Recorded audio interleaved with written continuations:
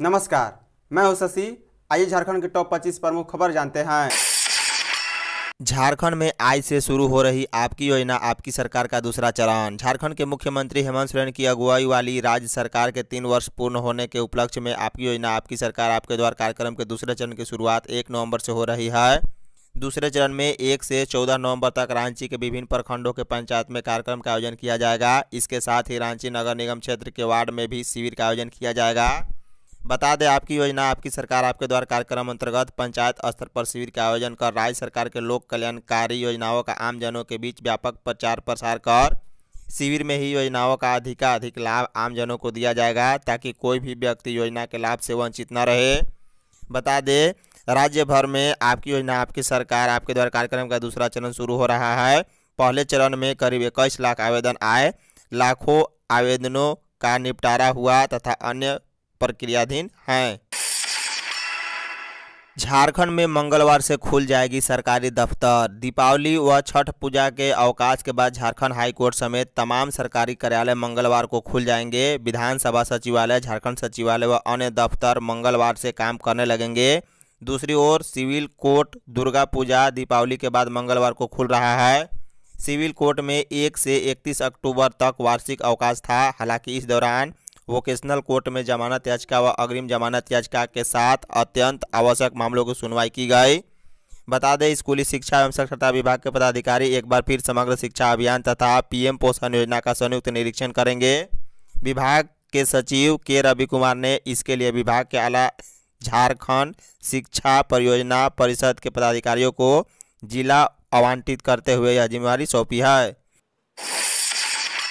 झारखंड में पच्चीस हज़ार नौ सौ छियानवे शिक्षकों की नियुक्ति, जेएसएससी ने शुरू की प्रक्रिया। झारखंड में शिक्षक नियुक्ति की कवायद तेज हो गई है। सहायक शिक्षकों की यह नियुक्ति झारखंड के प्राथमिक एवं उच्च प्राथमिक विद्यालयों में होगी। इन शिक्षकों को सहायक आचार्य पद नाम दिया गया है।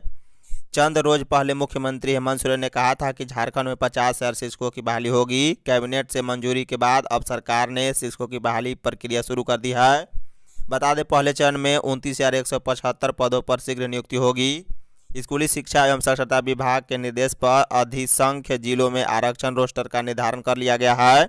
सभी जिलों से आरक्षण रोस्टर क्लियर होने के बाद इस पर कार्मिक विभाग से स्वीकृति लेने की तैयारी चल रही है। कार्मिक विभाग की इस पर स्वीकृति मिलने के साथ ही नियुक्ति की अनुशंसा झारखंड कर्मचारी चयन आयोग को भेजी जाएगी। विभाग की तैयारी नवंबर माह में नियुक्ति की अनुशंसा आयोग को भेजने की है। रांची हिंसा में हेमंत सरकार कटघरे में भाजपा से निलंबित नेत्री नूपुर शर्मा की विवादित टिप्पणी के बाद 10 जून 2022 को रांची में भड़के उपद्रव हिंसा मामले की उच्च स्तरीय जाँच पूरी तरह ठप पड़ी हुई है। उत्पाद विभाग के सचिव अमिताभ कौशल व एडीजी अभियान संजय आनंद राव लाठकर की दो सदस्यीय टीम को उच्च स्तरीय जाँच की ज़िम्मेदारी मिली थी। बता दें, टीम को जाँच में लंबा वक्त लगा है। राज्य सरकार ने जो समय निर्धारित किया था, उस निर्धारित समय में जाँच पूरी नहीं हो सकी है। इसके बाद जाँच टीम ने राज्य सरकार से दो महीने का वक्त मांगा था। वक्त मांगे हुए दो महीने हो गए, लेकिन जाँच समिति को सरकार से अवधि विस्तार नहीं मिला है। झारखंड के मंटू ने ड्रीम इलेवन पर जीते एक करोड़ रुपए। झारखंड में लातेहार जिला के हेरहंज प्रखंड मुख्यालय स्थित पुरनी हेरहंज निवासी किशोरी साव के पुत्र मंटू प्रसाद ने ड्रीम इलेवन में एक करोड़ रुपए जीते हैं। इसके बाद उसके घर में खुशी का माहौल है। चारों ओर से मंटू प्रसाद को बधाइयाँ मिल रही है। बता दें, मंटू के पिता किशोरी साव ने बताया है कि उन्हें इस खेल के बारे में कोई जानकारी नहीं था। उनका बेटा बीए तक पढ़ा है, उसने ही यह राशि जीती है। किशोरी साहब बताते हैं कि घर की स्थिति बहुत अच्छी नहीं थी, फिर भी बच्चों को किसी तरह से पढ़ाया। मंटू प्रसाद ने बीए तक की पढ़ाई की। छठ में वह घर आया था। रविवार को शाम में गाँव के कुछ लोगों ने बताया कि मंटू ने ड्रीम इलेवन में एक करोड़ रुपए जीते हैं। मुझे तो विश्वास ही नहीं हुआ। खुद बेटे से पूछा तो उसने भी बताया कि उसने इतनी बड़ी राशि जीत ली है। छठी मैया ने हमारे परिवार को खुशी दी है। हम सबकी सुन ली है। झारखंड के शिक्षकों का पारा गरम सरकार के खिलाफ छेड़ी जंग। अखिल झारखंड प्राथमिक शिक्षक संघ के आह्वान पर चार सूत्री मांग को लेकर प्राथमिक शिक्षक चार नवंबर से अपना आंदोलन शुरू करेंगे। शिक्षकों ने इसकी तैयारी शुरू कर दी है। आंदोलन को सफल बनाने के लिए शिक्षकों द्वारा प्रखंड, जिला और प्रमंडलवार सघन जनसंपर्क अभियान पूरे प्रदेश भर चलाया जा रहा है। साथ ही पोस्टर, बैनर, मोटरसाइकिल, स्टिकर के माध्यम से शिक्षकों के बीच आंदोलन का प्रचार प्रसार भी किया जा रहा है। बता दें, आंदोलन के पहले चरण में शिक्षक चार एवं पाँच नवंबर को काला बिला लगाकर कार्य करेंगे। वहीं सात से बारह नवंबर को स्थानीय जनप्रतिनिधियों को मांगों से संबंधित ज्ञापन सौंपेंगे। संघ के अध्यक्ष वीरेंद्र चौबे के अनुसार पहले चरण के आंदोलन के बाद भी उनकी मांग पर कार्रवाई नहीं हुई तो शिक्षक उन्नीस नवंबर को सीएम आवास का घेराव करेंगे। टाटा स्टील के पूर्व एमडी जे जे ईरानी का निधन। टाटा स्टील के पूर्व managing director doctor J J Irani का निधन हो गया है। उन्होंने जमशेदपुर के टाटा मेन हॉस्पिटल के इंटेंसिव केयर यूनिट में सोमवार की रात साढ़े दस बजे अंतिम सांस ली। उनके निधन पर टाटा वर्कर यूनियन के नेताओं ने शोक व्यक्त किया है। बता दें, डॉक्टर जे जे ईरानी लंबे अरसे से वह बीमार चल रहे थे। पिछले दिनों उन्हें जमशेदपुर स्थित टाटा मेन हॉस्पिटल के आईसीयू में एडमिट कराया गया था। भारत में 8 नवंबर को लगेगा चंद्र ग्रहण वर्ष 2022 सूर्य ग्रहण और चंद्र ग्रहण दोनों के लिए याद किया जाएगा। बता दें, इस वर्ष पहला चंद्र ग्रहण 16 मई 2022 को लगा था। अब दूसरी बार चंद्र ग्रहण मंगलवार 8 नवंबर 2022 को लगेगा। वर्ष 2022 का दूसरा और आखिरी चंद्र ग्रहण भारत में शाम पाँच बजकर बत्तीस मिनट से प्रारंभ होगा और रात को सात बजकर सत्ताईस मिनट पर समाप्त होगा। बता दें, पिछली बार 16 मई 2022 को जो पहला चंद्र ग्रहण लगा था, वह प्रातः आठ बजकर उनसठ मिनट से प्रातः दस बजकर तेईस मिनट तक लगा था, यानी कुल एक घंटा चौंसठ मिनट का चंद्र ग्रहण था। इस तरह देखा जाए तो इस बार 8 नवंबर 2022 को लगने वाला चंद्र ग्रहण पूर्व की तुलना में 31 मिनट अधिक लग रहा है। पुलिस पर हमले की योजना बना रहे माओवादियों के बंकर ध्वस्त। झारखंड के लातेहार जिला में स्थित बुढ़ा पहाड़ पर चलाए गए विशेष अभियान ऑक्टोपस के तहत सुरक्षा बलों को बड़ी सफलता मिली है। पहाड़ से बलों ने हथियारों का जाखिरा बरामद किया है। इन हथियारों में पुलिस से लूटे गए 18 हथियार समेत 303 LMG rifle, SLR rifle, carbine, INSAS समेत भारी मात्रा में गोली व बरामद किए गए। सोमवार को न्यू पुलिस लाइन में प्रेस वार्ता आयोजित कर डीआईजी राजकुमार लाकड़ा ने यह जानकारी दी है। उन्होंने बताया है कि लातेहार के पुलिस अधीक्षक को गुप्त सूचना मिली थी कि माओवादी बूढ़ा पहाड़ के आसपास भ्रमण की योजना बना रहे हैं।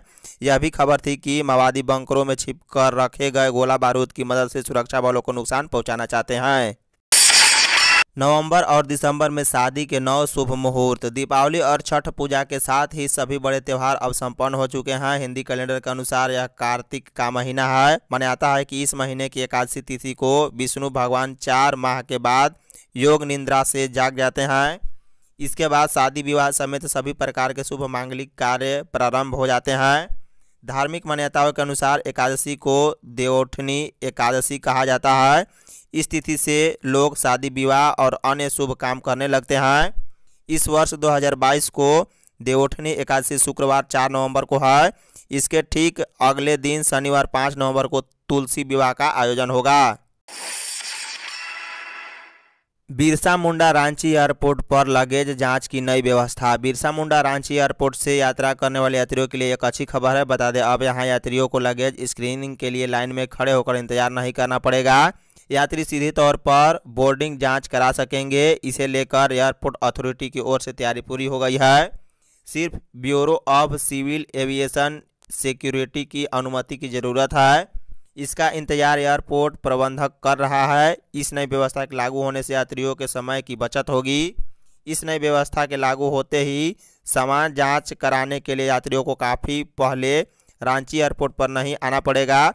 यात्रियों की सुविधा को देखते हुए एयरपोर्ट अथॉरिटी ने मेट्रो की तर्ज पर बिरसा मुंडा एयरपोर्ट, रांची पर भी स्क्रीनिंग की नई व्यवस्था लागू करने का निर्णय लिया है।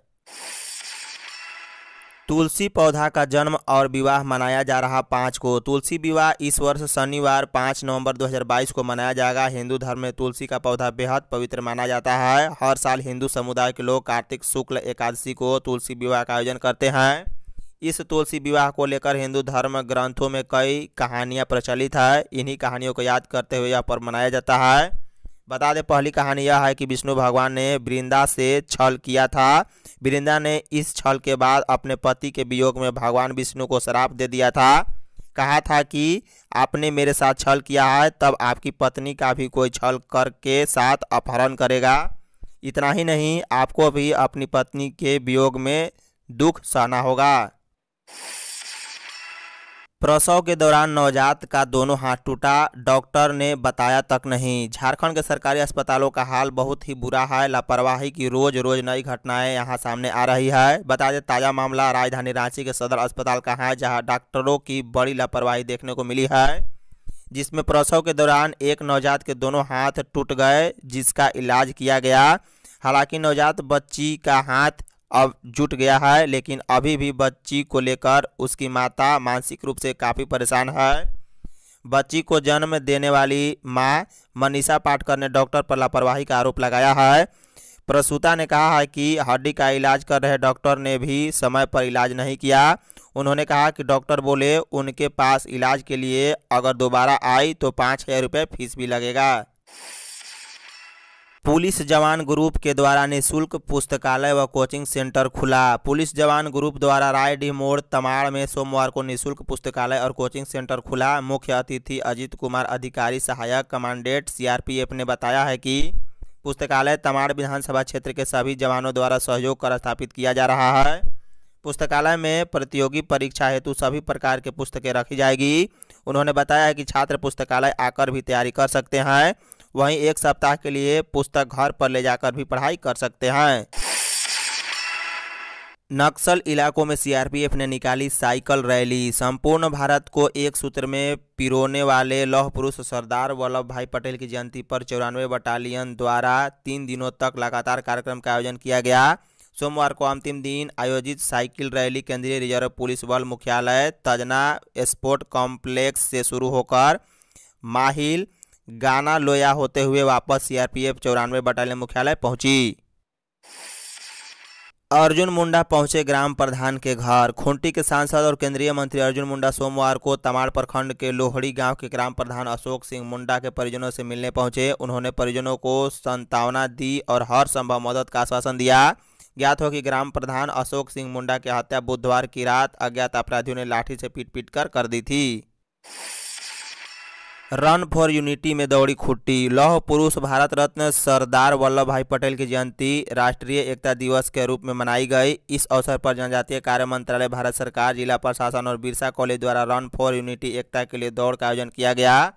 जिला स्तर पर रन फॉर यूनिटी का शुभारंभ केंद्रीय मंत्री, जनजातीय कार्य मंत्रालय, भारत सरकार, अर्जुन मुंडा, उपायुक्त शशि रंजन, पुलिस अधीक्षक अमन कुमार उप विकास आयुक्त नीतीश कुमार के द्वारा बिरसा कॉलेज खूंटी स्टेडियम में किया गया। पेट्रोल पंप लूट की योजना को पुलिस ने किया नाकाम। छठ महापर्व 2022 की रात पुलिस ने बेड़ो पेट्रोल पंप की लूट की योजना बना रहे एक युवक गिरफ़्तार किया है, जबकि उसके साथ ही भागने में सफल रहे। पकड़े गए अपराधी का नाम सूरज उराम बताया जा रहा है। अपराधी के पास एक देसी कट्टा, दो ज़िंदा कारतूस और एक बाइक बरामद हुई है। ग्रामीण एसपी नौसाद आलम को सूचना मिली थी कि कुछ अपराधी पेट्रोल पंप के पास इकट्ठा हो रहे हैं। सूचना देने वाले ने पुलिस को बताया है कि हो सकता है कि अपराधी पेट्रोल पंप को लूट का निशाना बना सकते हैं। सूचना पर तुरंत ब्यूरो पुलिस पहुँची और एक अपराधी को दबोच लिया। हाई स्कूल शिक्षक नियुक्ति 2016 के लटकने के आसार हाई स्कूल शिक्षक नियुक्ति 2016 मामले में प्रार्थी सोनी कुमारी द्वारा सुप्रीम कोर्ट में दाखिल। अवमाननावाद पर सुनवाई 18 नवंबर को होगी। सोनी कुमारी की ओर से अवमाननावाद दाखिल करने वाले अधिवक्ता ललित कुमार ने बताया है कि मेरिट पर 18 को सुनवाई होगी, उसके बाद आगे कोर्ट पर निर्भर करता है क्या इस मामले में डायरेक्शन देती है। उन्होंने कहा है कि हमने आवेदन के माध्यम से न्यायालय को जानकारी देने का प्रयास किया है कि दो अगस्त को दिए गए सुप्रीम कोर्ट के ऑर्डर का झारखंड कर्मचारी चयन आयोग और राज्य सरकार की ओर से किस तरह से अवहेलना किया जा रहा है? रांची में महिला से चैन छिनतई कर अपराधी फरार। राजधानी रांची के कोतवाली थाना क्षेत्र के किशोरगंज देवी मंडप रोड में पूजा कर लौट रही एक महिला से बाइक सवार अपराधी ने चैन छिनतई कर ली है। घटना सोमवार सुबह की है। इस संबंध में पीड़ित महिला सरिता देवी ने कोतवाली थाना में प्राथमिकी दर्ज कराई है। सरिता देवी कुम्हार टोली की रहने वाली है। वह सोमवार की सुबह छठ घाट से लौटकर पूजा करने के लिए मंदिर जा रही थी। इसी दौरान देवी मंडप रोड पर बाइक सवार अपराधी पहुँचे और उनके गले से सोने की चैन छीनकर फरार हो गए। झारखंड में सुरक्षा बलों की कड़ी कार्रवाई। झारखंड के लातेहार ज़िले के बुढ़ा पहाड़ इलाके में माओवादियों के खिलाफ अभियान के दौरान सुरक्षा बलों को बड़ी कामयाबी मिली है। सुरक्षा बलों ने माओवादियों के ठिकाने से भारी संख्या में हथियारों का जाखीरा और गोला बारूद बरामद किया गया। पुलिस के मुताबिक माओवादी के बंकर से एक लाइट मशीन, गन, एक इंसास और एक सेल्फ लोडिंग राइफल समेत 18 हथियारों के अलावा 200 से अधिक इम्प्रोवाइज्ड एक्सप्लोसिव बरामद किए गए। यह हथियार पुलिस से लूटे गए थे। यह बंकर राजधानी रांची से करीब 180 किलोमीटर दूर है। एथलीट जूली महतो रिम्स में भर्ती। धनबाद जिला के बंदर चुआ की रहने वाली एथलीट जूली महतो अंडर 16 में 100 और 300 मीटर दौड़ में चैंपियन रह चुकी है। दौड़ में भविष्य बनाने के लिए जूली लगातार मेहनत कर रही थी, लेकिन पिछले दिनों वह एक एक्सीडेंट में बुरी तरह घायल हो गई। जूली अपने भाई और एथलीट राहुल कुमार के साथ प्रैक्टिस करने मैदान जा रही थी। इसी दौरान उनकी बाइक दुर्घटनाग्रस्त हो गई और जूली महतो दुर्घटना का शिकार हुई। बता दें घायल होने के बाद जूली को धनबाद मेडिकल कॉलेज में भर्ती कराया गया, लेकिन उनकी स्थिति में सुधार नहीं होता देख डॉक्टर ने बेहतर इलाज के लिए बोकारो जनरल अस्पताल रेफर कर दिया। बोकारो पहुँचने के बाद भी उनकी स्थिति में सुधार नहीं हुई तो डॉक्टर उन्हें बेहतर इलाज के लिए रिम्स रेफर कर दिया।